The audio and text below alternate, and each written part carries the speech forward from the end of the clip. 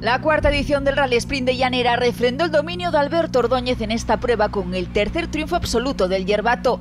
En la edición de 2024 y con Agustín Ramos a la derecha, Ordóñez fue el más rápido en las tres especiales del día.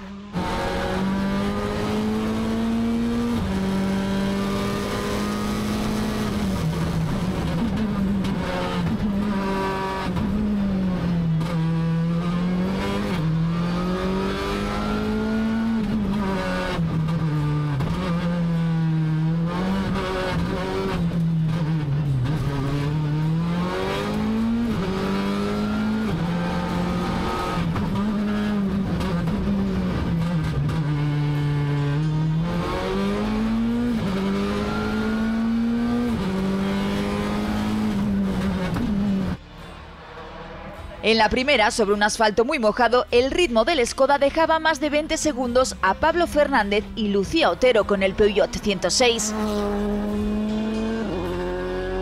El gran quebradero de cabeza para gran parte de los equipos era elegir la monta correcta de neumáticos y aquí hubo un poco de todo.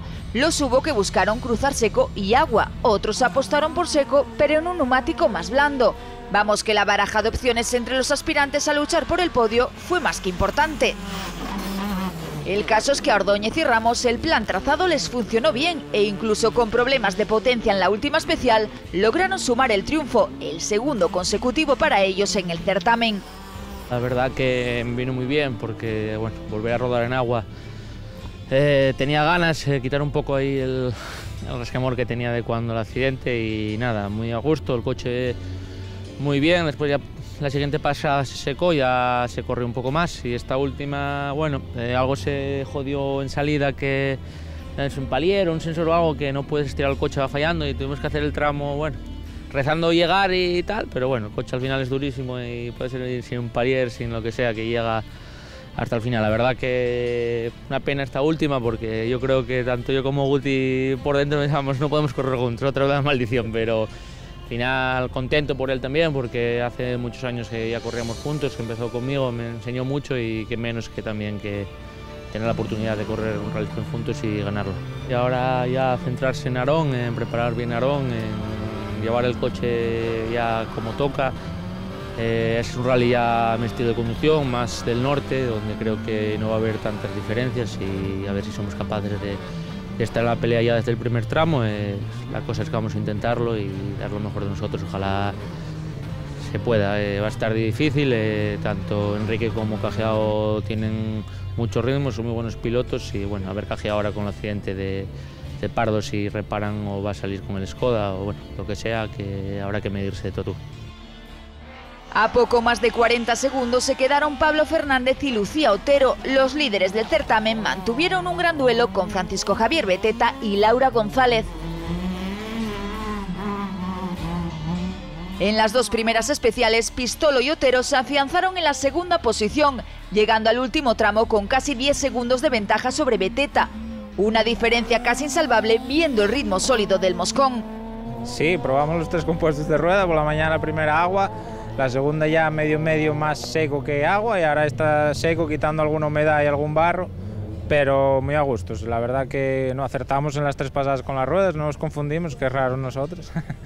y nada, aquí estamos y la última ya salimos un poco con esa ventaja con Javi y tampoco arriesgamos a, chocar o a pasar algo raro al coche. Javi y yo siempre andamos ahí, escapé un pelín más en la segunda, acerté mejor con él en las ruedas y ese margen que te dan en un rally sprint es muy difícil recuperarlo. Pistolo y Otero afianzaron con el segundo puesto su condición de líderes del regional de Rally Spring. Una clasificación que con el tercer puesto de Javi Beteta y la victoria de Ordóñez comprime la cabecera del campeonato. Beteta y González se quedan a nueve puntos de los líderes tras no ser capaces de batir a Pistolo en llanera. Con el Renault Clio la pelea estuvo no solo por asaltar el segundo puesto del podio, sino por mantenerse en él durante todo el día. Oliver García con el BMW y Adán Gil con otro Clio Sport se mostraron como unos rivales muy incómodos en esa pelea.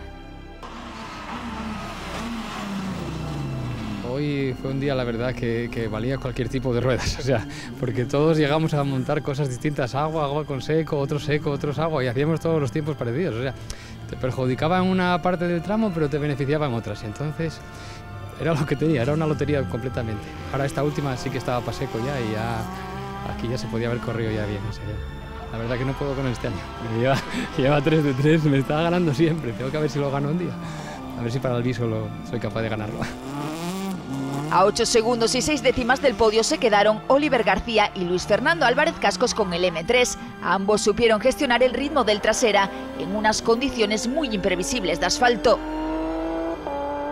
El top 5 lo completaron Roberto Fernández y Rafa Merino con un Peugeot 106. Los de Candas Competición escalaron hasta ahí tras un gran tercer tramo en el que mejoraron hasta en 30 segundos el crono inicial de la primera especial. Con el asfalto ya completamente seco lograron encaramarse al final del día entre los cinco más rápidos de la general absoluta.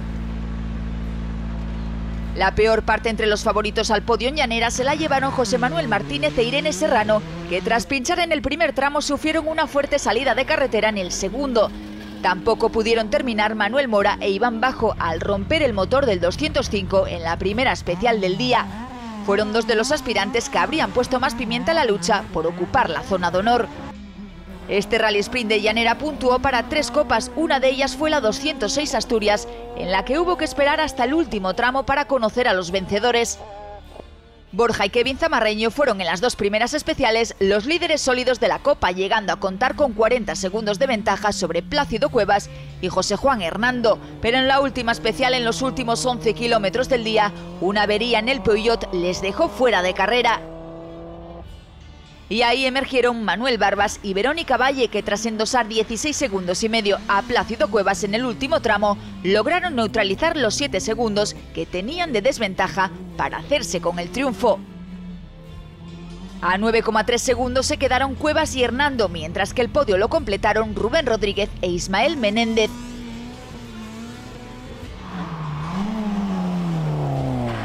Otra de las copas que también puntuó en llanera fue la Homologastur Turbo Cup. En ella triunfo sólido para Gabino Fernández y Damián Martín, que fueron los más rápidos en las tres especiales con el Renault 11 Turbo. Iván Molleda y Sandra Rodríguez se quedaron a más de un minuto y 40 segundos con el 5 GT Turbo, mientras que el podio lo completaron José González y Francisco José Noriega de la escudería Mayacina Sport. También puntuó una de las copas que esta temporada entran con fuerza en el regional.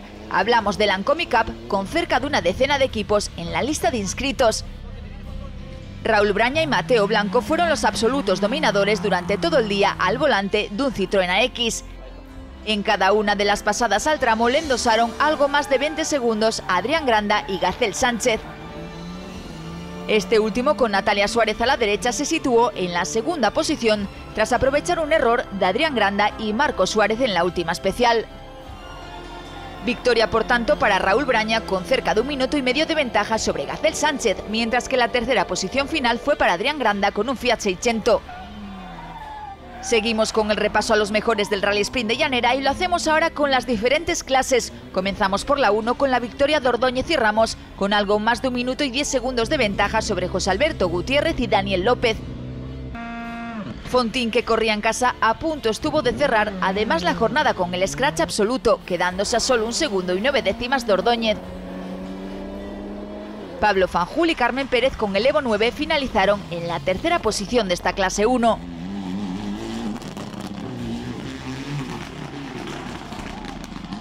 En la 2, Unai Collada y David García se impusieron con medio minuto de ventaja sobre Luis Abelino Areces y Hugo Álvarez. Los de la escudería Cangas Donis Motor Club fueron los más rápidos en los tres tramos del rally. En la clase 5, victoria para Adrián Blanco y Carlos Riesgo por delante de Alejandro Pérez y Daniel Abad. Ambos equipos protagonistas en Tineo dentro del Bolanfapa, que quedaron distanciados por apenas 15 segundos. En la clase 6, triunfo para Francisco Javier Beteta y Laura González con 8 segundos y 6 décimas de ventaja sobre Oliver García y Luis Fernando Álvarez Cascos. El podio final de esta clase fue para Adam Gil y Manuel González con el Clio Sport. Pistolo y Lucía Otero se impusieron en la clase 7 con medio minuto de ventaja sobre Roberto Fernández y Rafa Merino, estos con un Peugeot 106. A más de un minuto se quedaron los terceros clasificados, Enol Barroso y David Folgueira, con un 205 rally. En la clase 9, Borja Vázquez y Verónica Díaz lograron una agónica victoria por apenas cuatro décimas sobre Ignacio José Díez y José Antonio Cuendias. Estos últimos con el C2 llegaban al último tramo con un segundo y tres décimas de colchón, diferencia que Vázquez y Díaz neutralizaron en la tercera pasada al tramo para lograr el triunfo. El podio lo completaron David García y Laura Martínez con un Peugeot 106. Ambos se quedaron a casi 8 segundos de los vencedores. La próxima prueba del Campeonato de Asturias de Rally Sprint se celebrará el próximo 15 de junio. La cita será en el Rally Sprint Virgen del Viso.